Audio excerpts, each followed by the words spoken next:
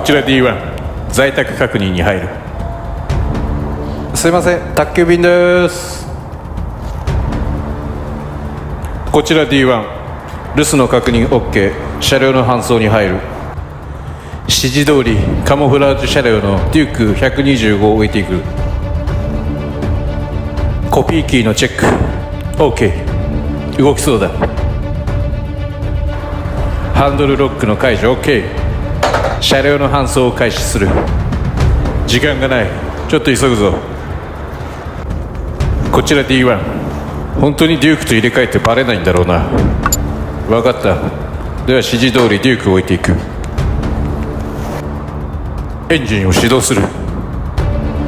おエンジンの調子は良さそうだ。なんだ？ガソリンが入ってないぞ D2 話が違うじゃないか。これじゃ50キロも走りやしない。仕方ない。どこかで給油していく。こちら D1 搬送開始スタート。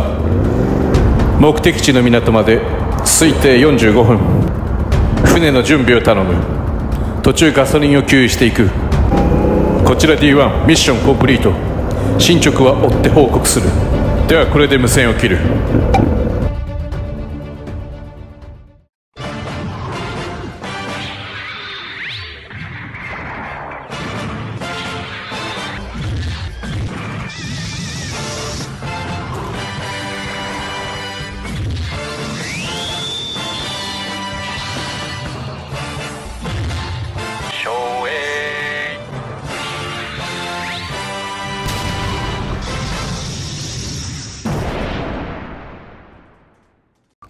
はい、こんばんは。日本のとある情報発信者です。このテレレ700のマフラーを交換していきたいと思います。まずは純正マフラーを聞いておこ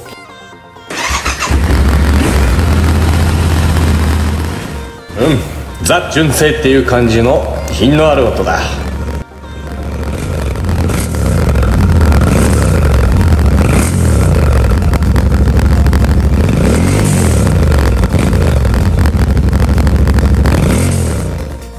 ご近所さんもいるからこれぐらいで勘弁してくれよ。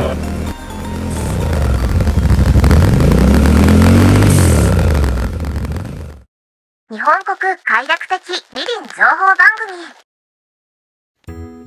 組。はいそれではマフラーを召喚します。はい。はいこちらが HP コルセのハイマウントマフラーですうんかわいいですね。やちやちママですよ。今からつけてあげまちからね。はいやしやしやし抜かないでください。はいやちやち日本国快楽的リリン情報番組。よっしゃそれじゃとりあえず開封していくぜちなみにこちらの商品は海外サイトから購入して約10日間で届いたぞ。海外からの購入の際は送料と関税が発生するからそこら辺気をつけてくれよ。なんだこれは？お手紙か？うん。読めん。これは？取説か。うん。読めん。これがサイレンサー本体だな。うん。え厳重に巻いてあるな。い。やうん。いい艶だ。かっこいいだろう。だいぶ軽量化になりそうだな。チタンだちなみに。うん。ほぼ筒だ。見えるかな？いいな。いい質感だ。果たしてどんな音がするんだろうな。よーし。うーんいいぞ。うんジャストフィットだ。はあ気持ちいい。最高だこりゃつけるのやめようかな。これはゴミか。うんピシってピシって。よし。これは養生に使おう。うん。よし。マフラーを置いて。えっ、ー、とこれが中間パイプかな。うん。ピッと。はい。これはなんだ？グミ？グミだと？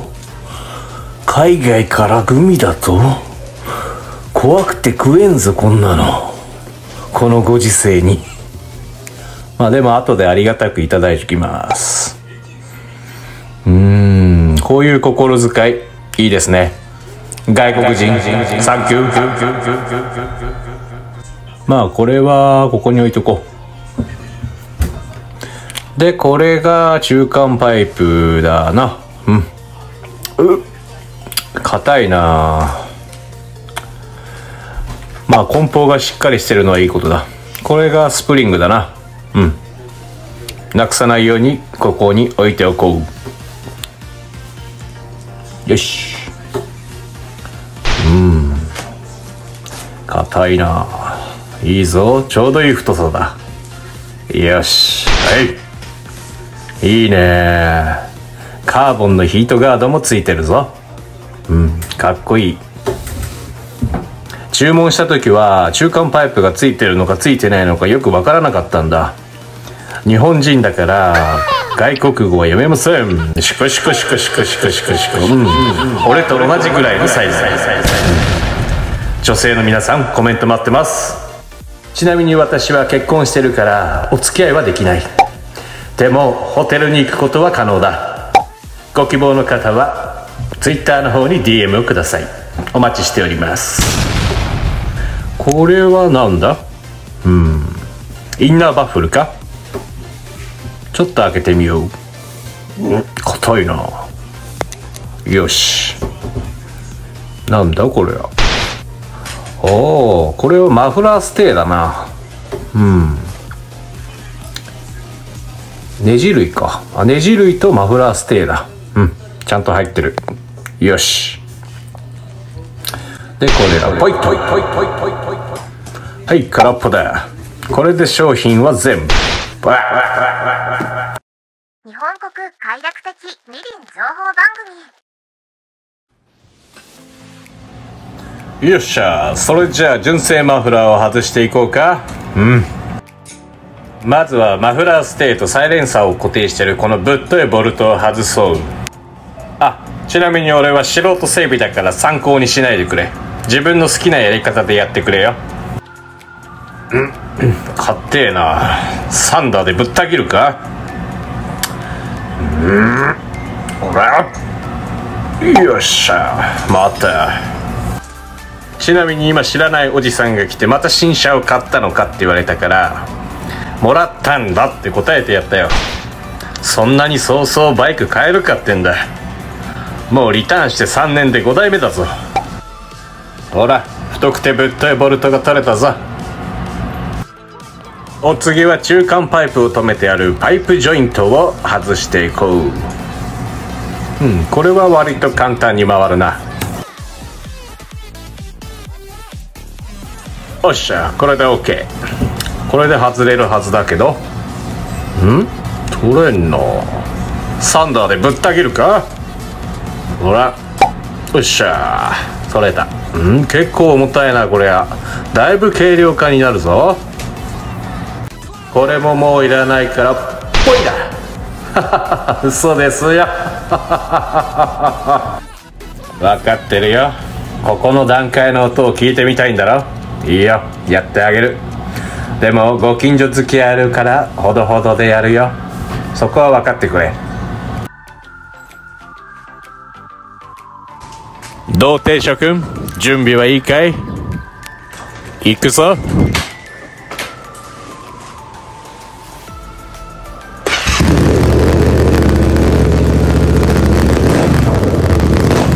これはダメだ。俺が村八分になっちゃうよ。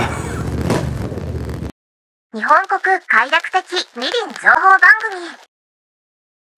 組。よし一旦取り付けてみよう。ん？君が大きくなったらまた遊ぼうな。じゃちょっと仮組みしよう。よいしょ。よし。じゃお次はサイレンサー。うんさすがチタンだ。軽いなよし。スポンとね。よし。ん？ウウインカーがぶち当たるぞこれ。嘘だ！こんな話聞いてないぞかりんさん。これじゃウインカーも変えなきゃダメだ。うーん。いいなかっこいいぞ。よし。一旦マフラーは外しておいてこのぶっとい純正ウインカーを外していこう確か前に俺が買っておいたリゾマのミニウインカーがあったからそいつを今回はサービスで取り付けておくぜ。よっしゃ。撤去と言ったらこいつだ。電動グラインダー通称サンダーだ。行くぞ。おらー。いうのは嘘ですよ。さてさてウインカーをどこにつけるかが問題だな。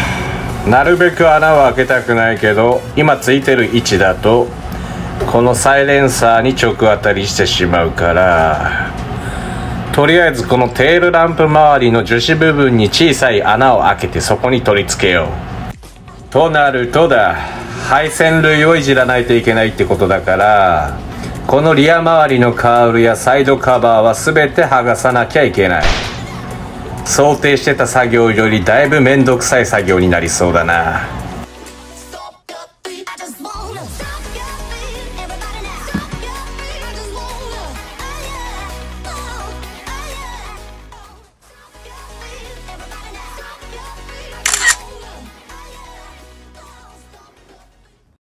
日本国快楽的二輪情報番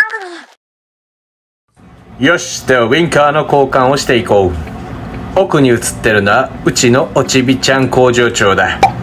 ウィンカーはこのリゾマウィンカーに交換するよ。小さいだろ？こんな小さいウィンカーだけど2つで2万6千円もするんだぜ。Oh my baby 遊んであげられなくてごめんな。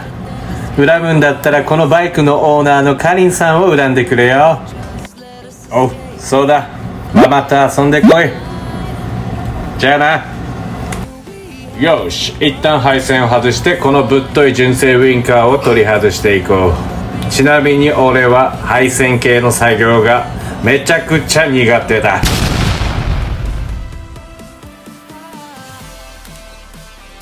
よし純正ウインカーの取り外し完了。マフラーを本締めしていくぞ。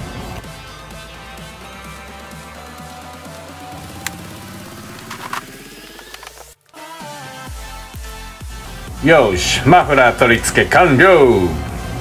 じゃあ音を聞いていくぞ。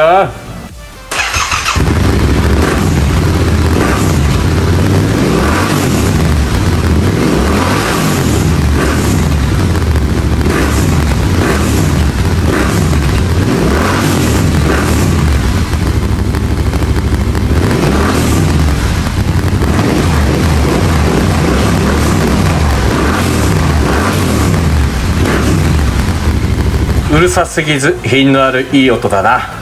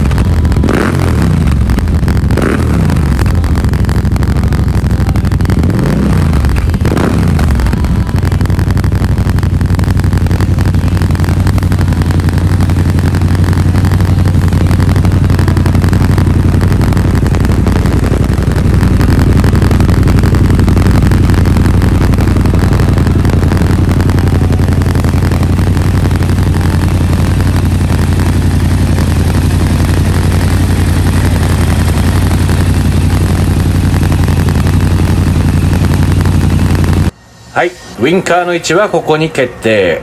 サイレンサーとの隙間は約1センチあるのでおそらく熱は大丈夫でしょう。はいご視聴ありがとうございました。試乗動画の方は次回動画でアップ予定ですのでお楽しみに。それでは次回の動画で。